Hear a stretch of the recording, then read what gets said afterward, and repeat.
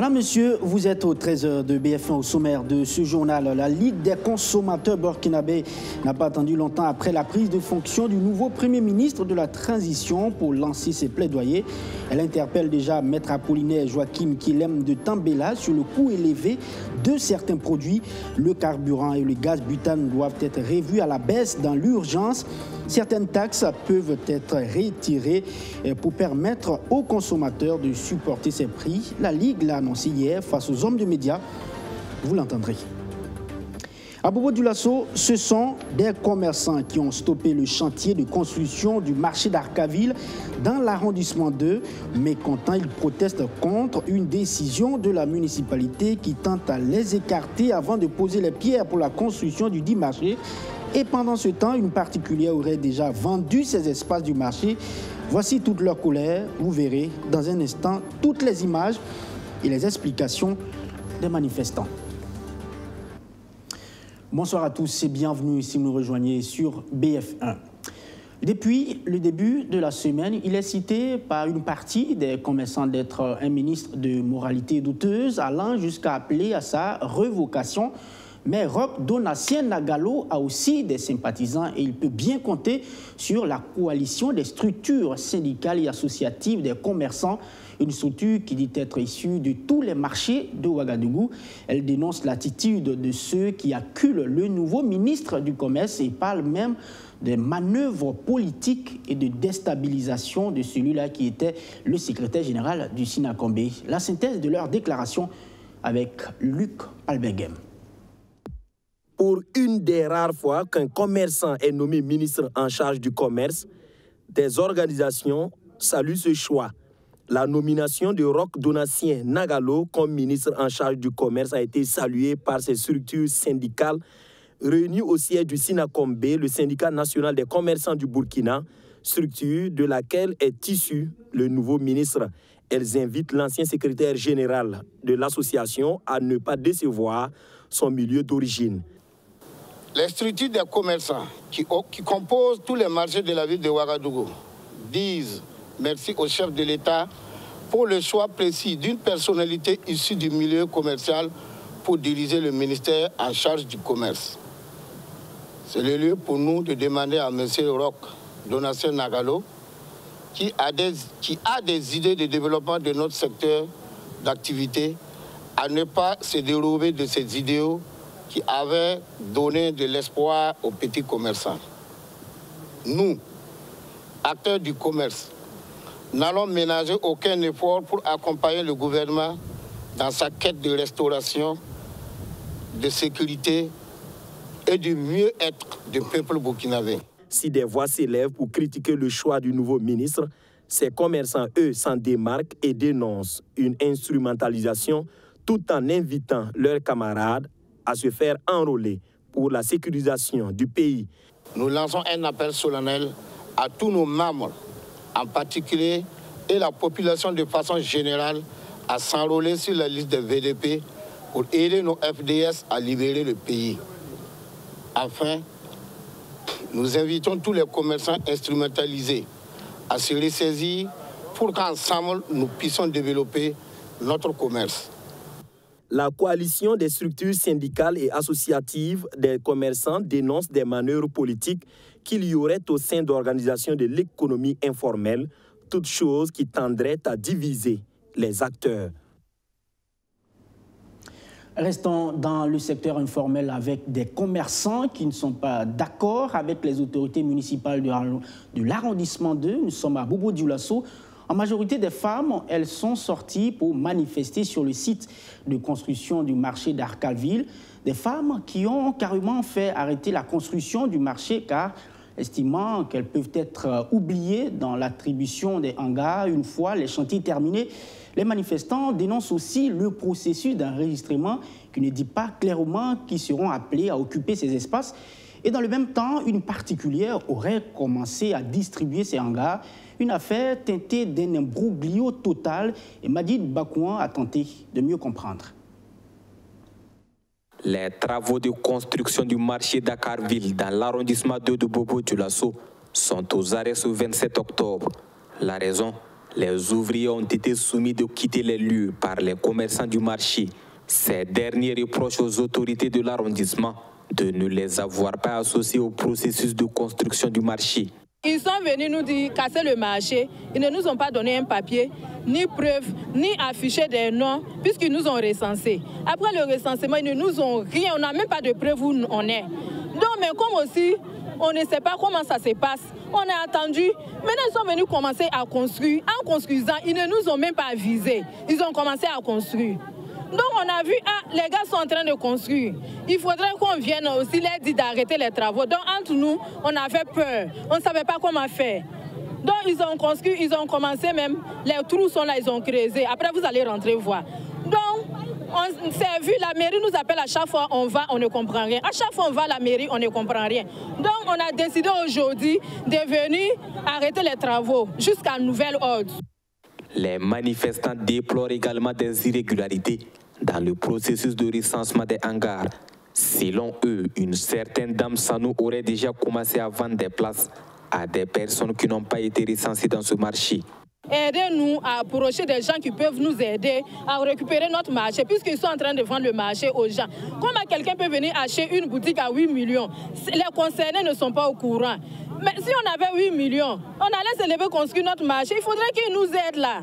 On doit discuter pour construire un marché là. Ah, c'est telle somme on vous propose. Maintenant, comme c'est comme ça, c'est telle somme, on, coupe. Nous, on n'a pas cette somme. Comme c'est en 5 ans, on pourra payer comme ça, on pourra payer comme ça. Mais on n'a même pas discuté. Ils nous ont fait comme des bonnes à rien, quoi. La délégation spéciale de l'arrondissement 2, qui a pris les choses en cours, dit avoir hérité du dossier. Elle confirme qu'un recensement a été fait par l'ex-maire du dit arrondissement, mais aucune liste des personnes recensées n'était disponible. Alors le PDS dit avoir mis en place un comité chargé de l'attribution des hangars pour changer la donne. Il précise qu'une rencontre a même été initiée entre ce comité, les commerçants et l'entreprise chargée de la réalisation des travaux. L'actuel responsable de l'arrondissement 2 appelle les commerçants au calme, car selon lui, les discussions se poursuivent afin de trouver une solution. Et la solution, il faut vite la trouver aussi, cette fois pour l'ensemble des Burkinabés qui ploient sous le joug de la vie chère. Et le premier élément qui est pointé du doigt par la Ligue des consommateurs est la baisse du prix du carburant, eh bien, si le coût n'est plus élevé, la pompe, bien sûr, à la pompe, les Burkinabés sentiront le changement sur les autres secteurs. Voici le plaidoyer que fait la Ligue à l'endroit du nouveau gouvernement. Elle interpelle aussi le Premier ministre hein, sur le coût du gaz, du butane et justement lui demande d'assainir le milieu avec justement les vendeurs et les revendeurs. C'était face à la presse nationale hier jeudi, compte rendu Luc Palmegem. Le nouveau Premier ministre avait déclaré avant sa prise de fonction qu'il verrait dans quelle possibilité baisser le prix du carburant. Eh bien, la Ligue des consommateurs du Burkina répond que c'est bien possible et elle s'explique. Mais nous avons constaté qu'il y a une taxe dont sa présence nous pose énormément de problèmes, tant du point de la satisfaction des intérêts des consommateurs, qu'on appelle communément quoi, taxe sur les produits pétroliers. Mais cette taxe, pour la simple raison que nous consommons du Super 91, nous payons 125 francs par litre. Pour le choix opté sur le gasoil, nous payons 50 francs par litre, soit un cumul de 175 francs. Ah, mais c'est quand même difficile pour le consommateur de tenir à une pareille période. Nous faisons le plaidoyer avec la sortie du nouveau Premier ministre pour ce qui concerne la vie chère, de diminuer de 50 francs sur les TPP Super 91 et de 25 francs sur les TPP gasoil, soit un total de diminution demandée de 75 francs. C'est pourquoi nous disons au Premier ministre que cela est possible.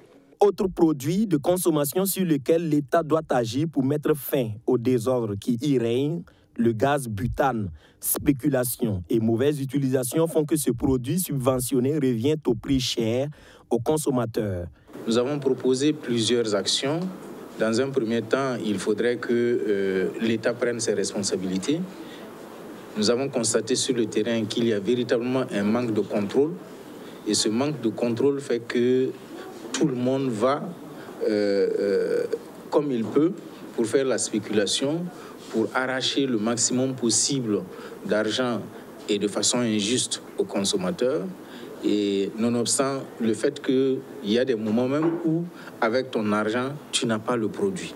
Donc, sur le plan du gaz, nous proposons que véritablement les contrôles soient faits et que les textes soient véritablement appliqués.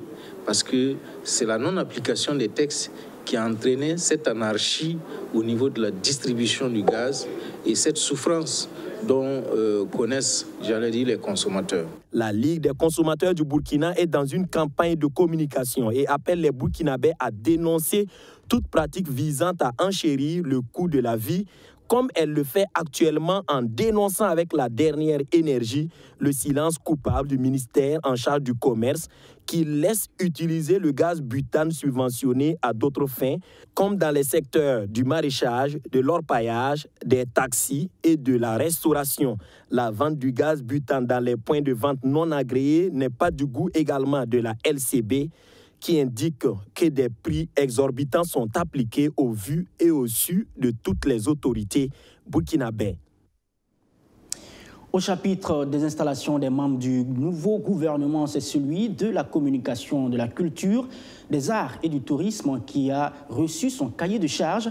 Jean-Emmanuel Ouedraogo a pris les commandes de ce département hier et entend être à l'écoute de euh, toutes les préoccupations des acteurs du département pour construire le Burkina Faso dans ce contexte d'insécurité. L'ancien directeur de la télévision nationale du Burkina Faso et maintenant porte-parole du gouvernement invite aussi ses nouveaux collaborateurs à un dépassement de soi en faisant euh, bien sûr un preuve de patriotisme.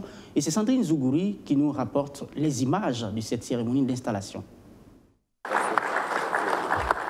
Un homme de communication remplace une femme de culture à la tête du département de communication, de la culture, des arts et du tourisme.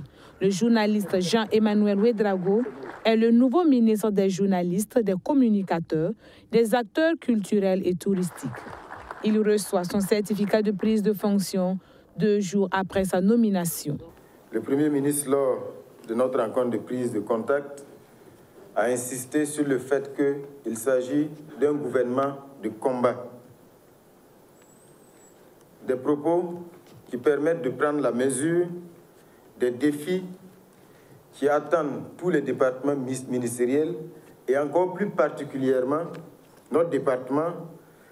Cela d'autant plus que on connaît aujourd'hui le rôle crucial de la culture et de la communication pour un pays en guerre confronté à autant de défis. Je voudrais ici saluer le travail abattu par mes prédécesseurs à la tête de ce département ministériel, un travail qui a déjà permis d'engranger des, des acquis significatif. Au-delà de sa mission, il doit d'abord gérer les instances. Jean-Emmanuel Ouedrago compte sur l'apport de tous ses collaborateurs pour réussir sa mission. Je voudrais exhorter chacun au dépassement de soi. Je pense que s'il y a un terme qui résume en lui seul l'état d'esprit qui doit être le nôtre aujourd'hui, c'est le terme patriotisme. Chacun au quotidien doit chercher à aller au-delà de ses capacités, aller vers l'excellence. Je pense qu'aujourd'hui, chacun à son niveau a cette contribution-là à apporter, pas seulement au ministère, au-delà du ministère, je pense que c'est à l'ensemble du pays que chacun donc doit apporter cette immense contribution. À toutes et à tous, je promets déjà d'être à l'écoute de toutes les préoccupations, car je suis conscient qu'il y en a, pour qu'ensemble nous puissions apporter cette contribution immense à la construction de notre nation en cette période décisive de notre histoire.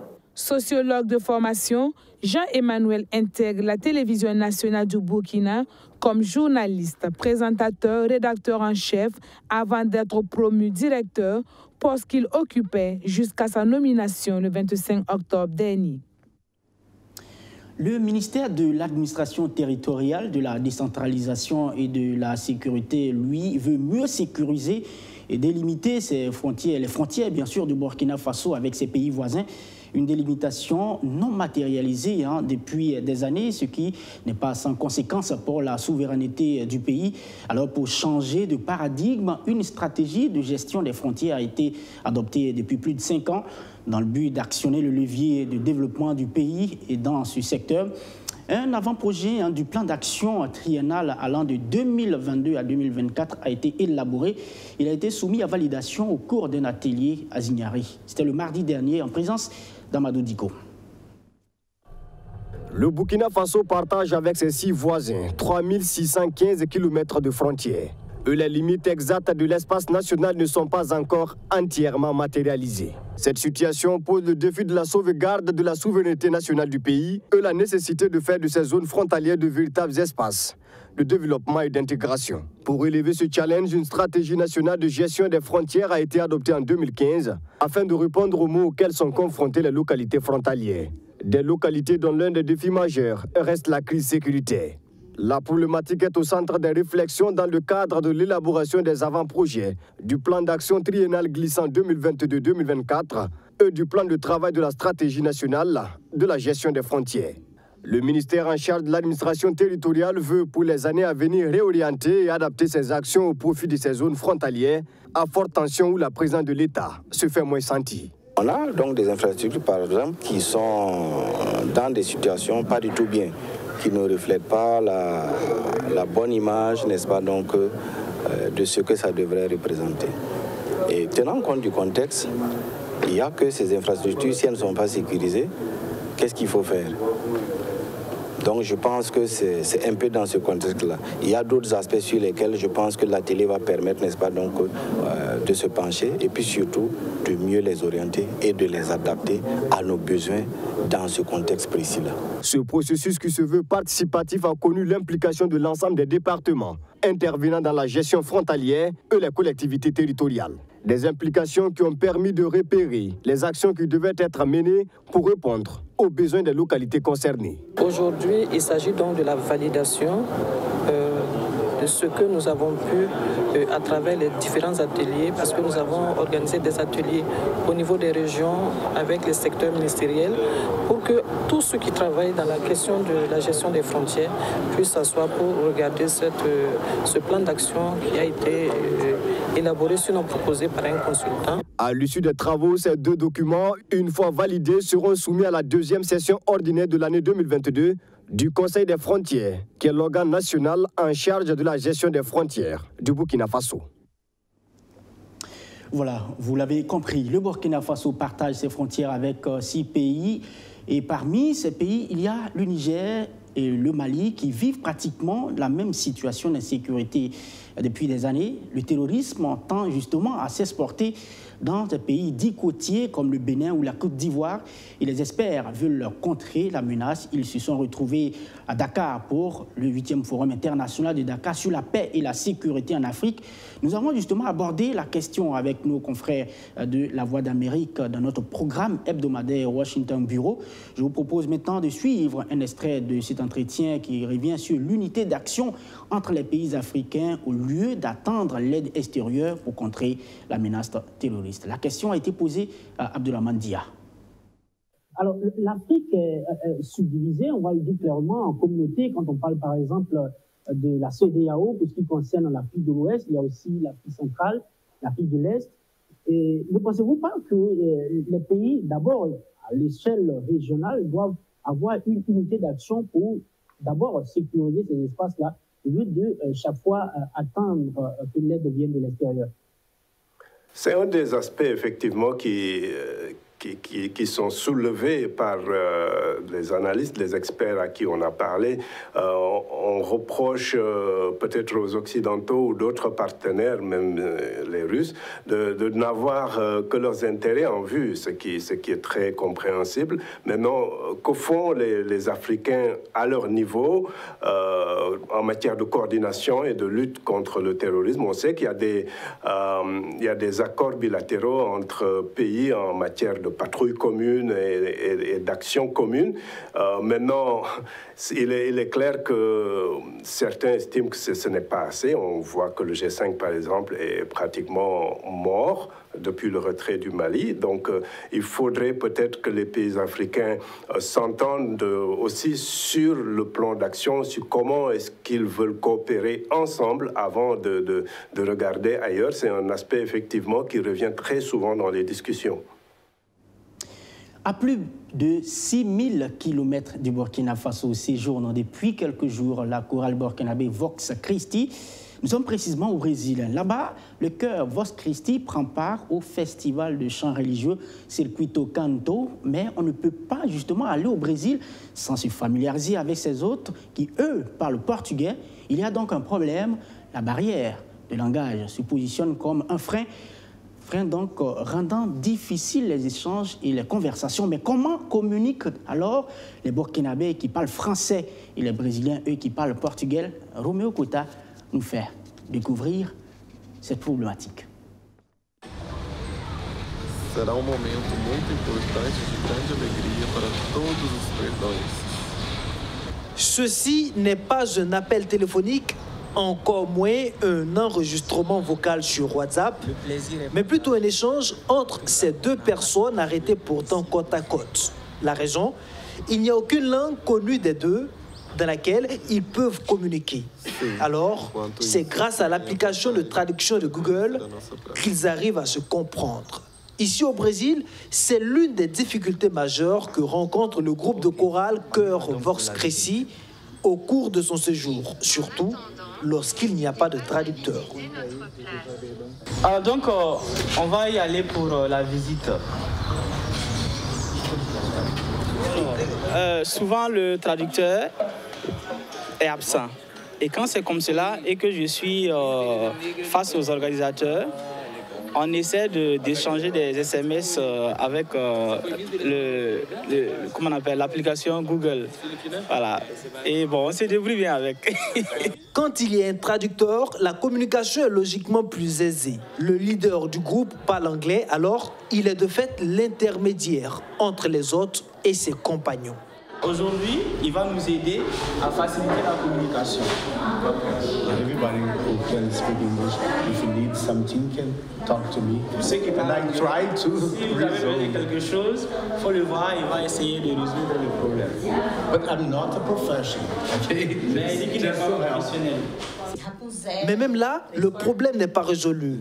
Les traducteurs ne comprennent que portugais et anglais, pas un seul mot de français. Alors que la grande majorité des visiteurs est francophone, ces choristes venus du Burkina Faso ont donc permanemment besoin d'intermédiaires comme ici.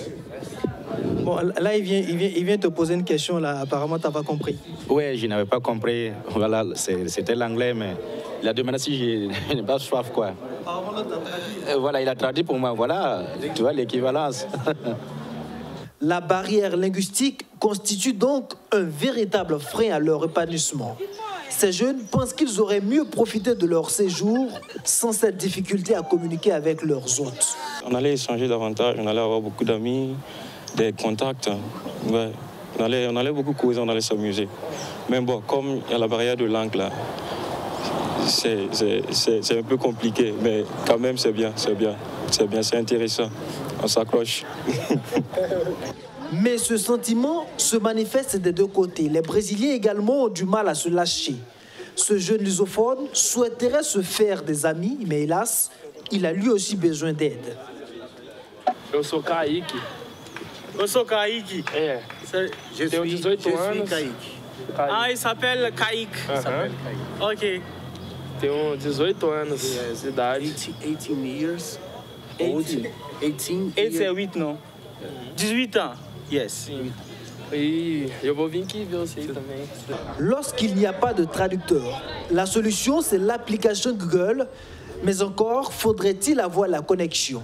Il y a donc des situations où il n'y a ni l'un ni l'autre, comme ici, où nos interlocuteurs ne semblent pas se comprendre malgré l'énergie déployée. C'est une situation où il n'y a, a, pas de wifi, où il n'y a pas de traducteur. Exactement. Ouais. On fait avec les signes. Et bon, moi je connais quelques mots. Par exemple, je ne sais pas comment on dit hier, mais je sais que la nuit on dit noité. Manger c'est janta. Donc je dis janta noité et il m'a dit sim, oui. Donc c'est là-bas où on a mangé hier là.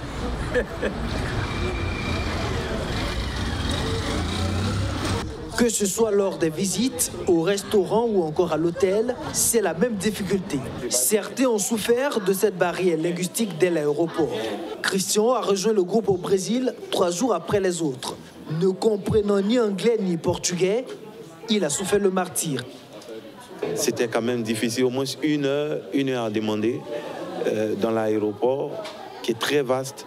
Ah, ça n'a pas été simple, franchement. On courait de partout avec nos valises, de l'espoir d'avoir une réponse. L'adaptation fut difficile, mais après cinq jours dans ce pays, des réflexes commencent à naître. Certains parviennent à capter quelques mots qui ressemblent au français. Ils parlent le portugais, voilà. Nous, nous parlons le français. Il y a certains mots quand même qui se recoupent.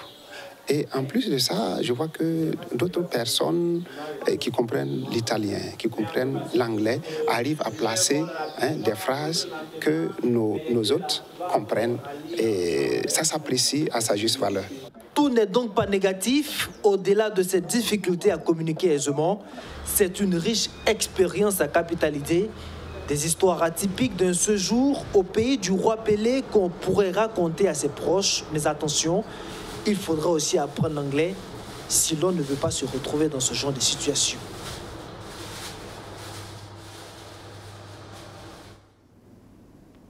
Voilà. Et puis demain, euh, demain donc 29 octobre, l'artiste musicien Dez Altino donne rendez-vous à ses fans et au public burkinabé à Canal Olympia de Ouagadougou. Un concert unique et spécial car l'artiste sera donc le seul sur scène. Les organisateurs ont fait l'annonce face aux hommes de médias. Compte rendu à Seine-Konitambe.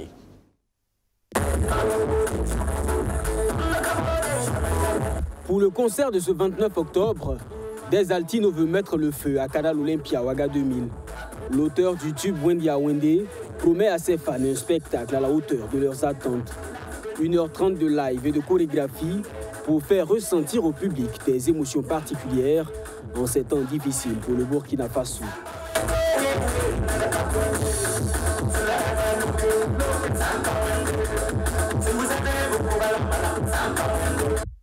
Pense que le public peut s'attendre ce qu'ils veulent exactement des Desaltino. 1h30 de concert, moi je dirais même que c'est peu pour Desaltino.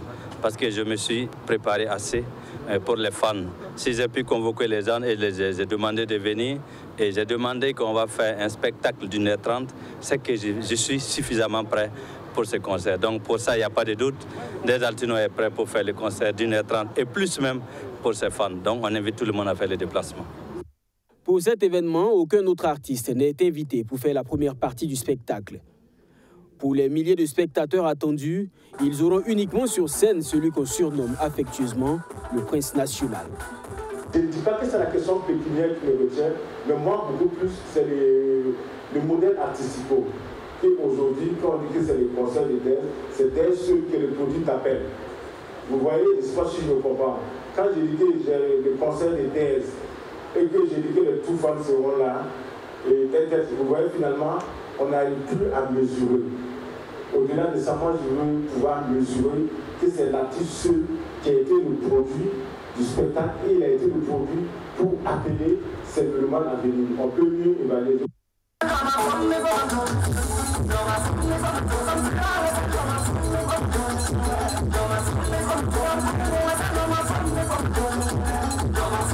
Le concert est organisé par la structure ONU Management.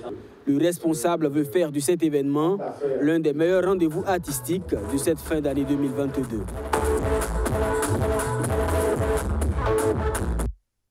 Nous restons en culture et nous recevons maintenant un invité avant de refermer les pages de ce journal. Il s'agit bien de Sébastien Bazemo. Il est le promoteur des Folies de la mode. Sébastien Bazemo, bonsoir. Bonsoir. Et bienvenue sur notre plateau. Merci. Alors, demain déjà commence la 11e édition des Folies de la mode, mais déjà, dès ce soir, il y a des activités prévues. La question tout de suite qui, qui me vient à l'esprit, on a constaté effectivement qu'il y a plusieurs activités qui ont été annulées à cause de la situation sécuritaire on parle du CIAO et bien d'autres, mais vous avez justement tenu à organiser euh, ce grand rendez-vous du défilé de la mode. Pourquoi? Mais parce que pour nous, euh, Folie de mode, euh, on est à la 11e édition et notre thème de cette année nous fait dire même qu'on n'a pas à reporter l'événement parce que la mode pour un Burkina, un, un Burkina debout, Donc pour nous, c'était euh, une mode qui veut euh, s'imposer, une mode qui veut se, se montrer qu'elle règne, quel que soit ce que le Burkina traverse. Et nous, on a voulu maintenir l'événement parce qu'on s'est dit que c'est notre manière de contribuer à l'effort de, guerre qui, se passe présentement dans notre pays et comment nous, les acteurs euh, de la mode, on peut contribuer de notre manière à ce que les Burkinabés, c'est vrai qu'on vit des moments difficiles, euh, mais comment faire oublier certaines choses de la vie et revenir à nos réalités qui sont que nous, les stylistes, on veut les faire rêver une fois de plus avec nos modèles et leur dire que nous sommes au bout du tunnel et on va sortir vainqueur.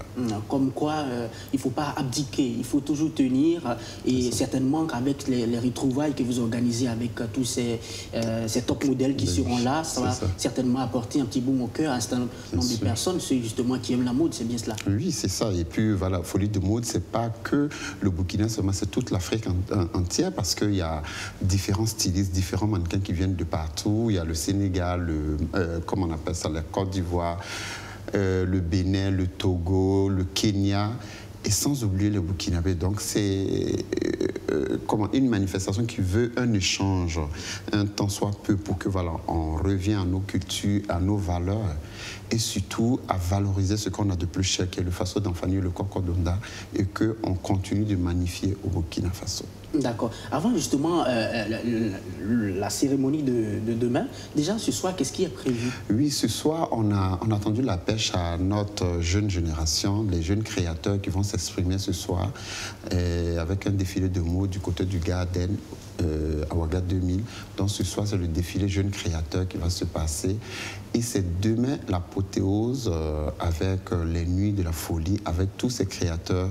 Voilà, donc il aura une, 14 créateurs sur un MT et chacun va montrer son savoir-faire. Hum. Et vous, particulièrement, qu'est-ce que vous promettez justement à, tous ces Burkinabés ben, je, je, promets voilà, du rêve, comme toujours, et toujours avec mes étoffes préférées, comme les gens le savent, le cocodonda, dans une autre, une autre facette et aussi montrer ma dernière euh, création qui est euh, Athéna, qui est par exemple, euh, comment on appelle ça, hommage à une reine égyptienne qui a vaincu quoi qu'on le dise, tout ce qui se passait dans son pays, la guerre et tout ça, et qui a toujours voulu montrer du beau. Et moi, je dis, Athéna, c'était un hommage au Burkina Faso pour dire, on va rester debout et qu'on va finir par gagner la victoire. Hum, c'est clairement euh, ce qui vous a motivé à prendre ce thème, la mode pour un Burkina Faso debout. C'est ça. Hum. C'est pour ça, pour moi, le thème, un Burkina Faso debout. Aujourd'hui, nous, les Burkinabés, on n'a qu'à se donner les mains pour avancer ensemble et on n'a qu'à oublier nos querelles, nos, nos petits manigances de partout là et mettre la main ensemble pour, voilà, hum. aller ensemble pour la victoire mais juste avant de terminer justement cet entretien, euh, à quoi aujourd'hui euh, euh, organiser un défilé peut avoir une petite touche pour, n'est-ce pas, amener le Burkina Faso à consolider ses acquis d'union, d'unité d'action, selon vous? Mais à quoi Déjà, le fait de rassembler différents Burkinabés ensemble. C'est vraiment du côté de la mode déjà, euh, faire venir des créateurs de Bobo, de Ouaga, de Koudougou, de je ne euh, sais pas d'autres gens, où on se retrouve. Parce que le fait qu'on se retrouve pour échanger sur, sur, sur les thèmes d'actualité, ça nous permet de s'enrichir, de comprendre beaucoup de choses. Et puis ce qu'on a voulu faire cette année aussi, c'est que Folie de mots, il y a toujours le côté social. Et cette année, tous les créateurs ont ramener avec eux des stocks qu'on va faire un don aux déplacés internes. Donc, euh, il y a des vêtements que les créateurs ont ramenés que après, voilà, après tous ces défilés, ou toute cette fête-là, il y a certaines personnes, nos frères par exemple, qui n'ont pas cette chance euh, de vivre euh, les mêmes instants que nous, mais on a pensé à eux en les offrant par exemple des dons en vêtements pour qu'au moins ils puissent se vertir et puis voilà, ils puissent être heureux un, un temps soit peu. Voilà. D'accord. Rappelez-nous très rapidement euh, le lieu, l'endroit où... Oui, le lieu, c'est du côté de Saint, du Saint-Aéré de Ouaga 2000, demain à 19h30. euh, voilà, c'est à Ouaga 2000. Et les tickets sont toujours en vente, donc euh, on s'attend à tous les Burkinabés sortir ma- massivement pour faire rayonner les couleurs de la mode africaine et les couleurs du drapeau burkinabé. Voilà, vous l'avez entendu, et sortez massivement pour faire rayonner les couleurs du Burkina Faso, bien sûr.